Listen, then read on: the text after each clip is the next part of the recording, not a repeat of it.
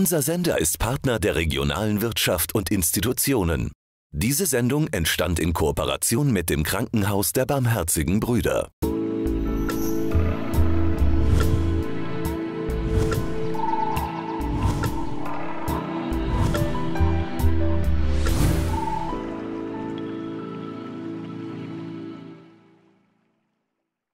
Heute geht es um ganz junge Patienten bei uns und um eine Erkrankung, die schon nach der Geburt auftreten kann und die man auf alle Fälle behandeln muss, denn sonst drohen Langzeitschäden. Herzlich willkommen zum TVA Gesundheitsforum. Wir sprechen heute über den sogenannten Hodenhochstand bei Jungen und wie man ihn behandeln kann. Und bisher, da kamen oft Hormontherapien zum Einsatz, aber es sieht so aus, als bewirken die gar nicht viel. Da gibt es nämlich neue Erkenntnisse. Und bei uns zu Gast im Studio sind heute zum einen Professor Wolfgang Rösch von den Kuno-Kliniken Regensburg. Er ist der Chefarzt der Klinik für Kinderurologie in St. Hedwig. Und Guido Judex, er ist in zweiter Generation niedergelassener Kinderarzt in Regensburg und Obmann der Oberpfälzer Kinderärzte. Herzlich willkommen Ihnen beiden. Guten Abend, Herr Professor Rösch, wir wollen jetzt keine Angst schüren bei werdenden Eltern vielleicht oder bei betroffenen Familien, aber es kann immer wieder vorkommen, dass die Hoden bei den Neugeborenen ihren Weg aus dem Bauchraum nicht richtig gefunden haben. Dann spricht man vom Hodenhochstand. Was passiert denn da sozusagen bei den Kindern oder was passiert eigentlich nicht während der Entwicklung der Kinder? Ja, die Hoden entstehen sehr weit oben im Bauchraum, in der Nähe der Nieren und müssen einen langen Weg durch den Bauchraum auf der Hinterseite des Bauchraumes entlang, durch die Leisten hindurch bis in den Hodensack finden. Und auf diesem Wege kann es dazu kommen, dass sie entweder dort stehen bleiben und sich nicht weiterentwickeln, sich sogar verdrehen können, dann ist gar kein Hoden zu sehen oder zu tasten, oder die meisten bleiben, wenn sie nicht bis nach unten den Weg schaffen, in der Leiste stecken sozusagen. Dann haben wir den klassischen Hodenhochstand, den Leistenhoden. Sind etwa drei Prozent der reifen Neugeborenen betroffen. Bei den Frühchen ist es noch ein bisschen äh, höher, bis zu fünf Prozent, wenn der Geburtstermin vor dem errechneten Termin liegt. Wir haben noch eine gewisse Chance, dass er nach unten gehen kann in den ersten drei Lebensmonaten, sodass wir am Ende des ersten halben Jahres so etwa bei einem Prozent sind. Das ist damit die häufigste kongenitale, also angeborene Fehlbildung der männlichen Säuglinge. Sie haben schon gesagt, es gibt noch eine Chance, wenn man jetzt bei der Geburt feststellen würde, die sind noch nicht äh, nach unten gewandert. Wie hoch ist die in etwa oder wie lange kann man denn da noch abwarten, sage ich mal? Also die Chance ist eben, dass sich die Häufigkeit von 3% auf etwa 1% ähm, verringert. Das heißt, von den drei von 100, zwei schaffen es noch, dass er den Weg nach unten findet. Einer wird übrig bleiben, der dann einer Behandlung später bedarf. Herr Judex, alle, die schon Eltern geworden sind, die wissen, es gibt eigentlich gleich in den ersten Tagen Vorsorgeuntersuchungen. Eine gute Nachricht vielleicht zumindest für die Betroffenen, man kann die Krankheit wirklich sehr schnell diagnostizieren. Bei welchen Untersuchungen wird denn das kontrolliert? Also bei den Routinevorsorgeuntersuchungen, wie Sie schon erwähnt haben, ähm, die erste, die dort ärztlich durchgeführt wird, ist dann die U2, meistens dritter, vierter Lebenstag.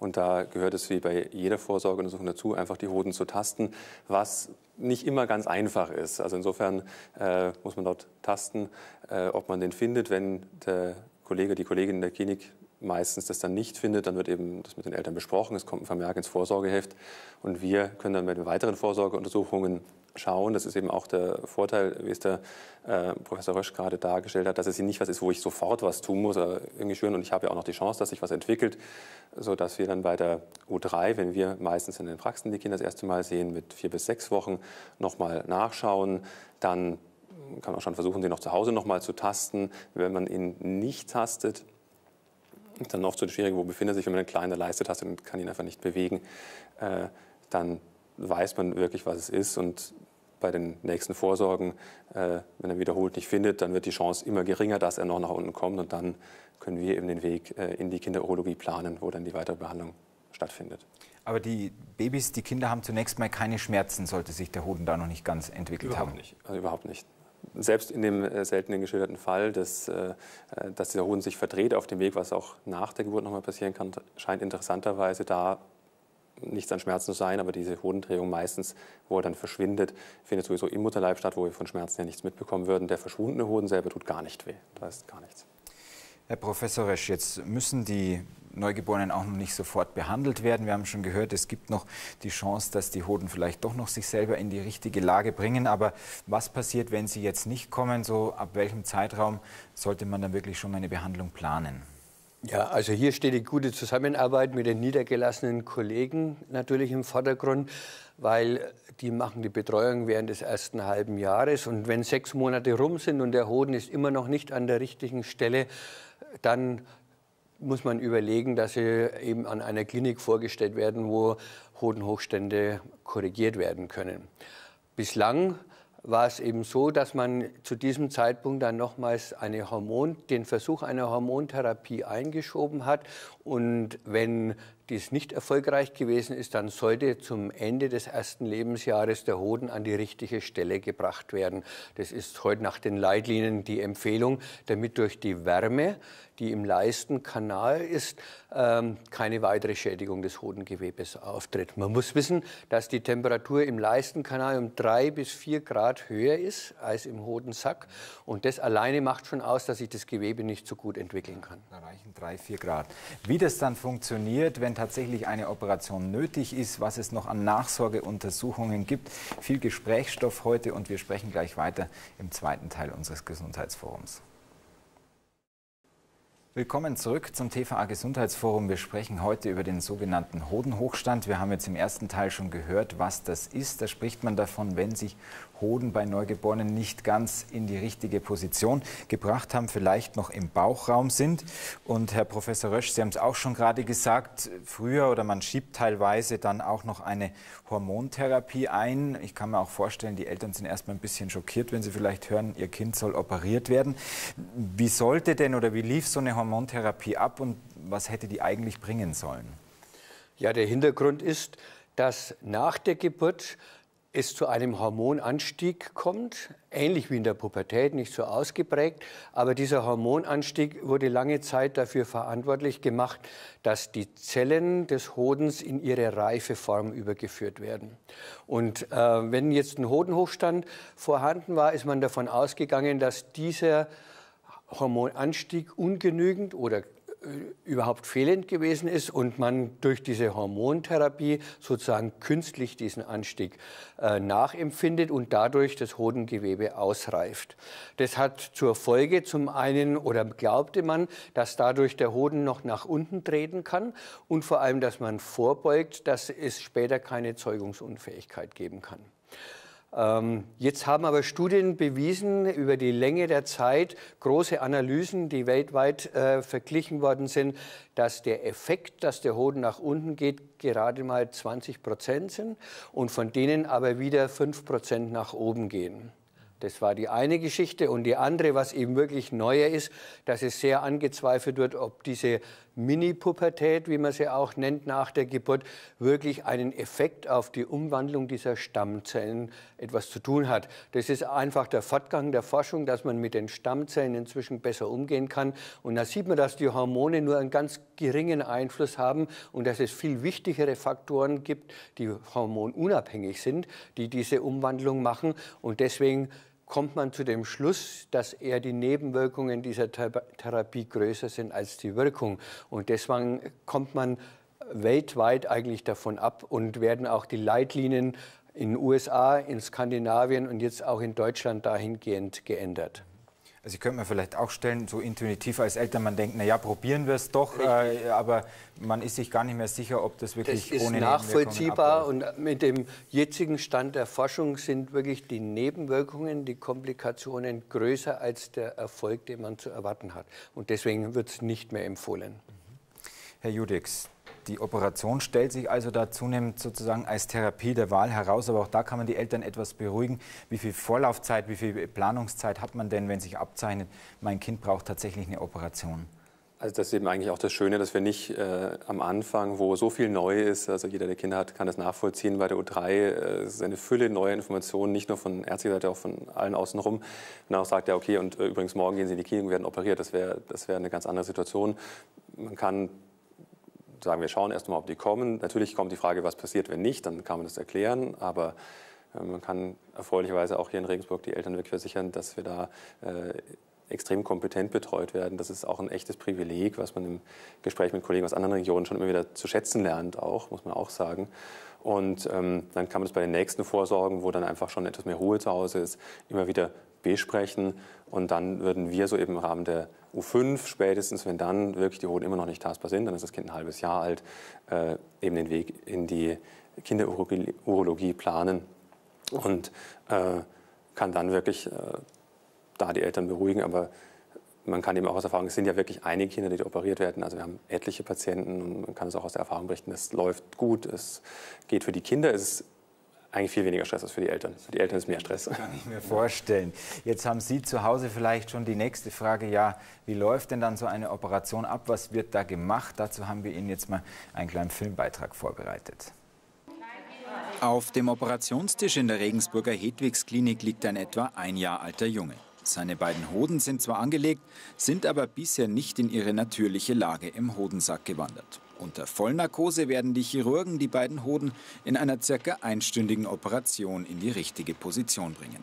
Die Operation erfolgt minimalinvasiv, nur mit kleinen Schnitten und speziellen Instrumenten. Über den Bauchnabel führen die Ärzte eine spezielle Kamera ein, um die Hoden zunächst ausfindig zu machen.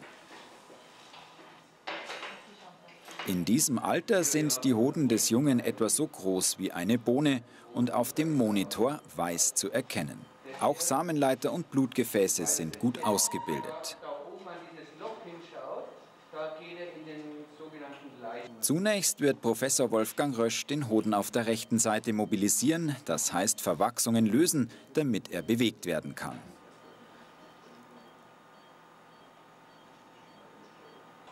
Anschließend erfolgt ein kleiner Schnitt von außen. Eine Verbindung zwischen Hodensack und Leiste wird geschaffen. Mit größter Vorsicht verlagert der Kinderurologe den ersten Hoden an die richtige Stelle. Hier zeigt sich der Vorteil dieser Operationsmethode. Dem Jungen bleibt ein großer Schnitt durch die Bauchdecke erspart. Der Chirurg kann mit den Instrumenten ein großes Gebiet im Inneren des Körpers überblicken und erreichen. Diese Prozedur wird anschließend auf der anderen Seite wiederholt. Geht alles gut, ist die Behandlung mit einer Operation abgeschlossen. Ja, Herr Professor Rösch, das waren Sie bei der Operation. Vielleicht, wenn Sie es uns noch mal zusammenfassen, für den Laien ein bisschen erklären, was machen Sie da im Prinzip? Also der Filmbeitrag, der hat natürlich die gravierendste Form des Hodenhochstandes beschrieben, der Bauchhoden. Das heißt, der Hoden ist überhaupt nicht in den Leistenkanal eingetreten. Das sind Gott sei Dank die seltenen Fälle, die müssen laparoskopisch behandelt werden. Der normale Hodenhochstand wird durch eine ganz kleine offene Operation gemacht. Das ist ein Schnitt, der ist ein bis zwei Zentimeter groß in der Leiste und dort wird der Hoden aufgesucht und dann auch nach unten in den Hodensack verlagert. Ähm, der Eingriff dauert in der Regel 20 Minuten, ähm, mit Narkose Ein- und Ausleitung eine gute halbe Stunde und äh, er ist vergleichsweise wenig belastend für die Kinder. Wird in erster Linie auch mit ausgeprägten Regionalanästhesie äh, durchgeführt, sodass die Kinder den ersten Tag nach der Operation wirklich auch weitgehend schmerzfrei sind, auch nach der Narkose. Bleiben die dann im Krankenhaus noch ein, zwei Tage? Äh, äh, maximal eine Nacht. Es kommt immer darauf an, bei den Kindern, wo der Bauchhoden verlagert wurde, die lassen wir in jedem Fall eine Nacht bei uns äh, zur Überwachung. Mit der Mutter natürlich im Zimmer und werden am nächsten Früh nochmal die Lage kontrolliert und dann können sie nach Hause gehen. Ja, dann geht es auch schon weiter sozusagen mit der Nachsorge. Trotzdem haben manche Eltern vielleicht noch Sorgen, was die Zeugungsfähigkeit später anbelangt. Darüber sprechen wir gleich im dritten Teil unseres Gesundheitsforums. Sie sehen das TVA Gesundheitsforum heute mit Professor Wolfgang Rösch von der Kinderklinik St. Hedwig und Guido Judex. Er ist niedergelassener Kinderarzt in Regensburg. Und wir sprechen heute über den Hodenhochstand. Herr Professor Rösch, wir hatten jetzt bisher die Situation, dass also seit der Geburt eigentlich die Hoden noch nicht in der richtigen Position waren bei den Jungen. Das ist eine Variante. Es kann aber auch mal vorkommen, dass die Hoden zwar anfangs vielleicht da sind, aber dann wieder im Bauchraum verschwinden. Ja, das ist tatsächlich auch die Möglichkeit. Das eine nennt man den Pendelhoden, dass der Hoden spontan im Hodensack ist, aber auch zeitweise in der Leiste ist. Der ist nicht behandlungsbedürftig, aber eben überwachungsbedürftig. Wir wissen heute, dass etwa 30 Prozent dieser Fälle tatsächlich noch zu einem richtigen Hodenhochstand werden. Und die können dann aber auch im Alter von fünf oder sechs Jahren, wenn das soweit ist, äh, noch rechtzeitig dann operiert werden, ohne dass sie einen Schaden haben. Aber es muss eben überwacht und rechtzeitig korrigiert werden. Die zweite Gruppe ist, die sind äh, bislang unterschätzt worden. Man hat früher immer gemeint, die sind nicht erkannt worden. Das sind tatsächlich Hoden, die nach dem ersten Lebensjahr auch noch nach oben gehen. Deshalb ist es wirklich wichtig, dass man die Vorsorgeuntersuchungen bei den kinderärztlichen Kollegen draußen regelmäßig machen lässt. Und dort wird dann auch rechtzeitig erkannt, dass tatsächlich Sekundärveränderungen auftreten. Kann das mir, Herr Judex, als Eltern auch auffallen, wenn da vielleicht plötzlich ein Hoden wieder hochwandert oder hochpendelt? Oder ist es eher Sache des Arztes dann? Also wenn ich überlege, mir fällt kein einziger Fall ein, wo das so gewesen wäre. Ich ähm, kann mir nicht vorstellen, dass Eltern da regelmäßig untersuchen. Am Anfang ist es wirklich auch schwierig, muss man ganz ehrlich sagen, da die da zu finden.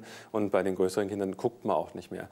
Ähm, und erfreulicherweise deckt sich auch am Anfang die ersten Jahre der Intervall der Vorsorgeuntersuchung genau mit den Leitlinien Empfehlungen. Einmal im Jahr sollte man einfach nach der Hodenlage gucken. Also es ist jetzt nicht so, es läuft dumm, ich habe die Vorsorge gemacht und äh, einen Monat später verschwindet der Hoden. Ähm, dann passiert in diesem Zeitraum äh, nichts Dramatisches. Äh, man hat also schon dann längeren Zeitraum. Bis fünf Jahre sind eben jährliche Vorsorgen dann ja vorgesehen. Dann ist es leider etwas dünner und auch noch nicht im Breiten angekommen im kompletten Vorsorgekatalog, dass äh, die sogenannten neuen Vorsorgen, die es seit einigen Jahren gibt, bei allen Kindern durchgeführt werden. Ähm, das ist aus mehreren Aspekten wäre das sinnvoll, aber auch eben bei, bei dieser Sache des Hodenhochstands einfach regelmäßig beim Arzt schauen. Wir empfehlen den Eltern schon auch regelmäßig selber zu Hause zu kontrollieren. Äh, dass man einfach, wenn das Kind entspannt in der Badewanne sitzt, wenn es ist, dass man einfach mal nachschaut. Aber es kommt dann irgendwann das Alter, wo das Kind es verweigert, die Eltern sich nicht sicher sind und dann schauen halt wir nach. Mhm. Gehen wir noch mal einen äh, Schritt zurück gedanklich. Wir sind sozusagen noch mal bei den Kindern, die operiert wurden, wo die Hoden dann in die richtige Position gebracht wurden. Ähm, was gibt es denn da dann an Nachsorge? Wie oft müssen dann Eltern mit ihren Kindern zunächst mal zur Kontrolle kommen? Also vielleicht noch eine schöne Kleinigkeit, wir müssen nicht mal Fäden ziehen. Also das sind selbstauflösende Fäden. Ähm, diese Prozedur, die dann bei den Kindern auch nicht so schön wäre, auch die entfällt jetzt. Die werden am Anfang natürlich nach Vorentlassung der Klinik angeschaut. Wir schauen dann auch nochmal drauf. Ähm, und dann eigentlich, wenn es unauffällig ist, muss ähm, direkt postoperativ keine, also direkt nach der Operation keine große regelmäßige Nachsorge sein, aber halt eben die regelmäßige nach, ähm, Kontrolle im Rahmen der Nachsorgen, ob dieser Hoden nicht halt doch wieder aufgestiegen ist. Das kann sehr selten auch nochmal passieren, auch wenn er gut operiert wurde, dass sich doch irgendwas gelöst hat, dass der Zug zu stark war, was auch immer. Ich glaube, das wissen wir nicht, das wissen Sie besser, Herr Rösch. Ähm, und mh, dann auch später die Jugendlichen dazu anzuleiten, das selber zu machen, dort selber zu gucken, ähm, auch in Anbetracht, dass ein kleiner Weg, äh, die Jungs insbesondere dazu zu bringen, auf ihre eigene Gesundheit zu achten. Ähm, vorhin überlegt, vor wenigen Wochen war in mehreren Großmedien auch das Thema, warum Männersterblichkeit so viel höher ist. Äh, es liegt auch an vielen Punkten daran, dass wir uns weniger um unsere eigene Gesundheit kümmern. Äh, das kann man denen auch nochmal mit an, an, die Hand geben. Das Thema Brustkrebsvorsorge bei Frauen ist ein großes Thema. Bei den Jungs findet das äh, sehr wenig statt, obwohl es auch dort den Hodenkrebs, den Hodentumor gibt, der jetzt nicht die kleinen Kinder betrifft, aber ältere Jugendliche und junge Erwachsene schon. Und wenn die eben regelmäßig geschult werden, selber zu schauen und dann, wenn ihnen irgendetwas komisch vorkommt, ja. einfach zum Arzt zu gehen und mhm. voller Vertrauen über dieses unangenehme Thema zu sprechen, dann ist ein Riesengewinn sicher da für die Gesundheit. Kann man da die Eltern vielleicht schon, ich sage mal, vor der Pubertät ein bisschen sensibilisieren oder sagen, klärt eure Kinder noch auf, solange die noch euch zuhören? Ja, also das ist uns ein großes Anliegen, was der Herr Judex hier eben gesagt hat. Auch den Urologen gibt es auch extra Initiativen dafür, weil im Hodenkrebs ganz eine besondere Form des Hodenkrebses vor allem zwischen dem 16. und 25. Lebensjahr auftritt. Und die Vorsorge wie die Brustkrebsvorsorge ist ganz wichtig, dass die Jungs tatsächlich auch wirklich tasten, schauen, ob die Oberfläche des Hodens glatt ist, ob der Hoden nicht fester ist. Das merkt man sofort. Und dass sie sich auch trauen, was zu sagen. Nicht nur, dass sie es feststellen und dann damit äh, rumlaufen und es für sich behalten, sondern dass sie wirklich auch so offen sind und es sagen. Und deswegen ist es eben wichtig, dass die Eltern sie aufklären, dass sie das tun und dass sie mit dem Thema offen umgehen können.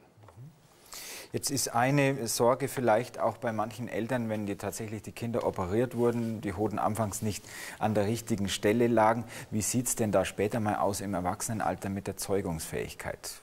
Kann man dazu was sagen? Also die Zahlen heute, die man kennt, sagen, dass wenn der Hoden nur auf einer Seite betroffen gewesen ist und zu einer, zur damaligen Zeit war das immer um das zweite Lebensjahr korrigiert wurde, dass dann keine Unterschiede sind in der Vaterschaftshäufigkeit. Beim beidseitigen Hodenhochstand sehr wohl.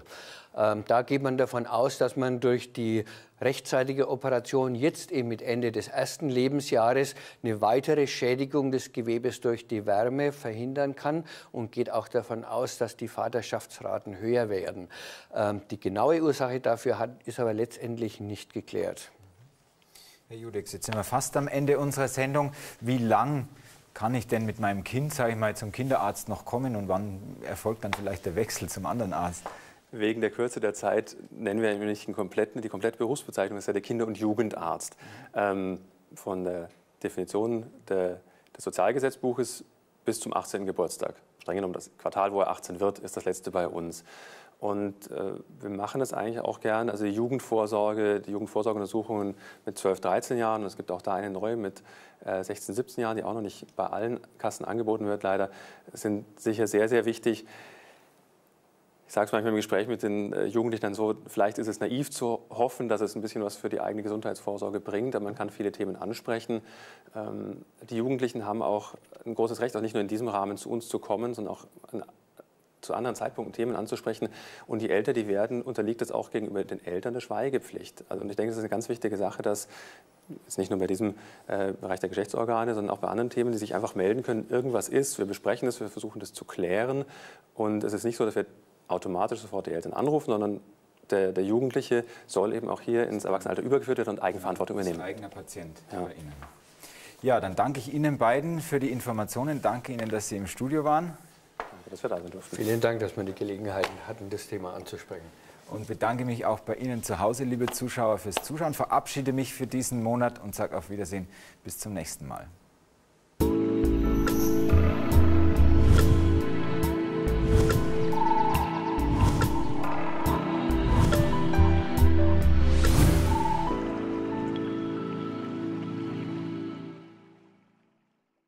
Unser Sender ist Partner der regionalen Wirtschaft und Institutionen.